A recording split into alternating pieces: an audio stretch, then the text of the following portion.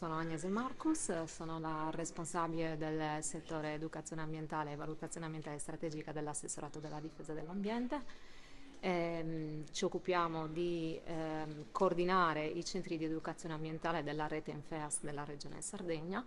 nell'ambito del quale abbiamo ehm, nel 2023 pubblicato un bando per la valorizzazione e la cura dei beni comuni, quindi per finanziare dei progetti a cui ehm, potevano partecipare a questo bando i centri di educazione ambientale, quindi gli enti titolari di un centro di educazione ambientale,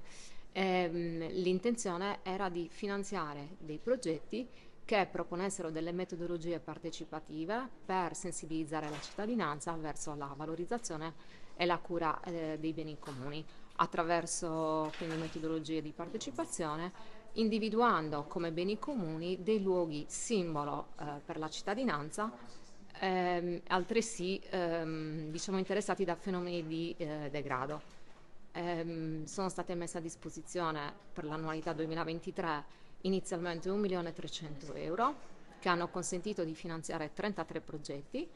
Eh, successivamente, a fine 2023, con la legge di assestamento del bilancio, sono state reperite ulteriori risorse pari a circa 340.000 euro. Questo ci ha permesso di eh, completare lo scorrimento della gradatoria. Quindi tutti i progetti che sono stati valutati come idonei sono stati, ehm, sono stati finanziati. Eh, in particolare oggi è stato presentato il progetto mh, mm, proposto dall'ente Parco Molentargius, BIPAC, che ehm, riguarda un progetto di valorizzazione della piana di Sarenas e che ehm, è risultato tra i migliori in quanto